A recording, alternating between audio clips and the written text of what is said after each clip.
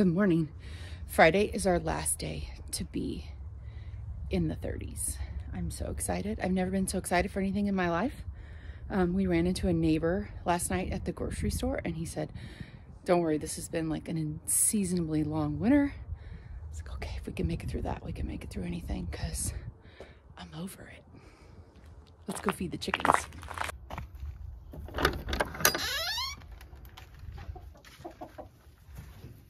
Good morning, guys.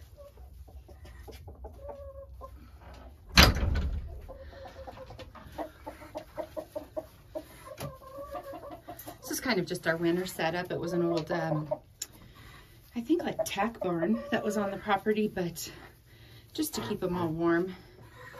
Let's see what we got in here. Oh, we better leave her. Oh, she left us a present.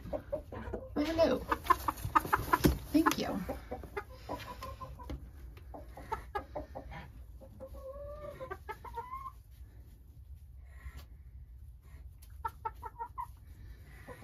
Let's check on the babies. Baby chicks are all doing great and they're getting their wing feathers.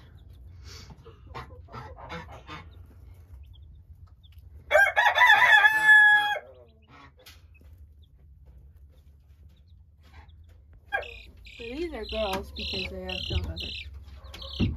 Their fluffy little legs are so cute. Well, it's our first really sunny day. I think it's supposed to be like 46 today.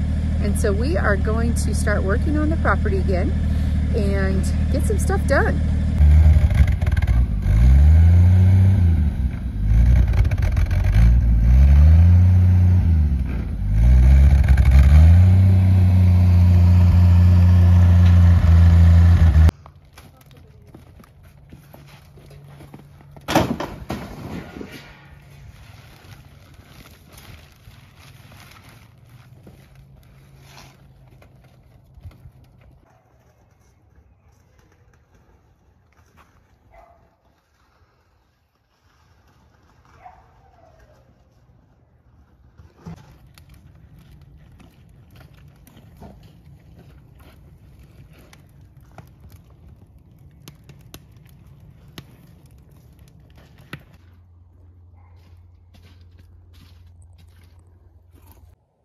I'm so loving this sunshine. It's been a long time.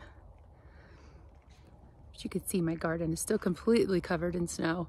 After tomorrow, it's supposed to be like 50, 56, I think. Maybe it'll all be melted. We could get back to work out there. Let me show you our creek also that's starting to melt today.